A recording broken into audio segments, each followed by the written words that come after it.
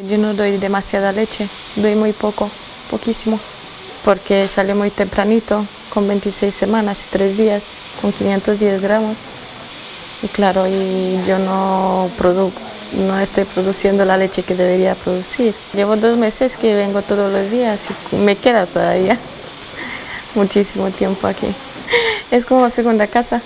El hijo de Mijaela, Hugo, es receptor de leche materna donada en el Banco de Leche Regional del Hospital 12 de Octubre. Justo ahora mismo aquí, en el laboratorio donde se hace el procesamiento de la leche.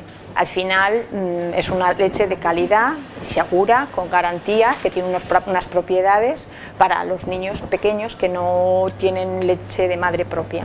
Los grandes prematuros, que son los menores de 1.500 gramos o menores de y menores de 32 semanas de gestación, los cardiópatas, los niños que han tenido una cirugía digestiva, niños con problemas de hipoxia, ¿vale?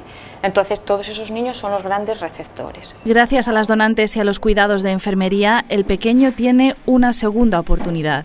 Es que vienen las enfermeras siempre con las jeringuillas de leche, ya está preparada y todo. Hay personas que, y más mayores, las personas más mayores que están aquí enfermeras te dan muchísimos consejos y me viene bien, muy bien, no me puedo quejar, muy bien. Y gracias a ellos está el niño como está.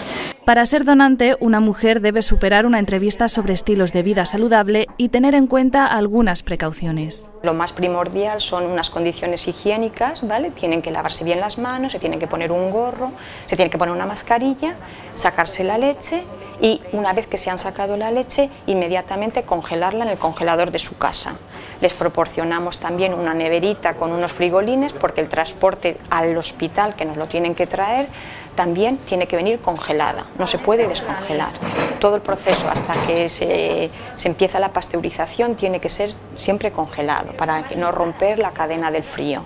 Y una vez que ya nos lo traen aquí, pues eh, inmediatamente se mete en los congeladores de leche cruda las compañeras, las técnicos son las que la registran y una vez registrada, ellas luego ya empiezan el proceso de la pasteurización. La leche donada es más beneficiosa que la artificial porque se tolera mejor, protege contra problemas intestinales y disminuye el riesgo de contraer enfermedades digestivas. La existencia de este banco es posible gracias a quienes donan su leche de manera altruista. Las donantes de verdad son encantadoras, se emocionan cuando te traen la leche, lo viven de una manera increíble te cuentan que ha sido una experiencia maravillosa, o sea, se sienten, pero vamos, súper, súper, súper agradecidas, súper orgullosas y, te dicen que si pudieran, que si se quedan embarazadas, que el próximo embarazo que lo volverán a hacer, o sea que muy, muy contentas, se van muy contentas.